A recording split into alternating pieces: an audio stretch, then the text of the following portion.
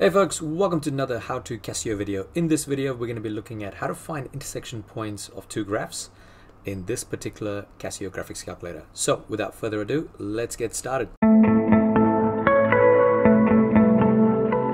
Alright, so the first thing what we want to be doing is we actually want to plot these two graphs in the graph mode. And the way we're going to do that is switch on the calculator, click on main menu, go down to the, the graphs menu, click enter, and notice how we've got y1 and y2. We're going to put both of these graphs, um, each one as separate ones. So for example, this one here is going to be y1, this one here is going to be y2. Now the order doesn't really matter. So I'm going to do 3x minus 4 as first. So I've got 3. And for the x, I'm going to use the x underneath the alpha. Uh, it would be better not to use alpha x because that's actually gets stored as a value. So we want to be using x, which is the variable in this case. So we're going to go 3x minus 4. And then we're going to type in the second graph, which is x minus 4 squared. So x minus 4, make sure, make sure that it's in brackets and squared. We're going to click on exe and we're going to click on draw. Now what's happening here is that you've actually got a parabola and you've got a straight line. Now I know for a fact that this um, straight line is actually going to intercept the parabola at two different points. So what we need to do is figure out what those two intersection points are. So the way we're going to do that is we're going to click on GSolve. And as you can see, there's a little button ISCT, which is um, intersection point. So I click on it. And so our first point that we have for intersection is 2.29. Probably should have rounded that up, but that's all right.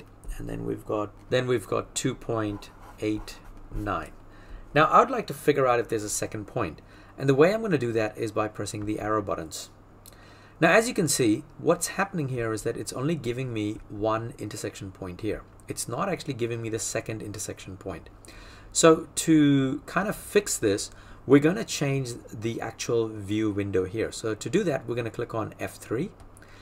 And one of the ones that um, I've kind of played around with this is when we go for the standard view, and if you click on enter, we click draw again, what that happens is that it actually changes the view here. But when I go back to GSolve and find the intersection points, here's my first point, which is 2.29 and 2.89. Now if I press the uh, cursor to the right, it's actually going to give me the second point, which happens to be somewhere around here, which is 8.70 and the y value is going to be 22.10. Now the other way that you could also do is click on F2, which is zoom, you can actually zoom out, press EXE, and once again, zoom out, press EXE, and as you can see, there's those two points that um, where the intersections are happening. So if you click on GSolve now and F5 again for intersection point, there's your first point, and then there's that second point right there.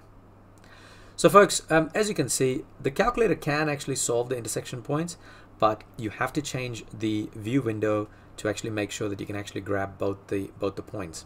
Now, in some scenarios, you can't just keep zooming out, out and out because it's just the scale is too messed up. So the best one in that case I found was going into view window. So when we click on the uh, standard view, somehow it manages to actually track um, both of the intersection points. So folks, that is just a quick little video of how to find intersection points of two graphs on this particular calculator.